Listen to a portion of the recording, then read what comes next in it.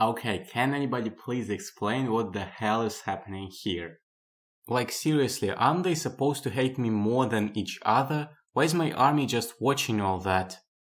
Okay, so I somehow sided with them, and now I lost? What has happened here? Okay, it ended.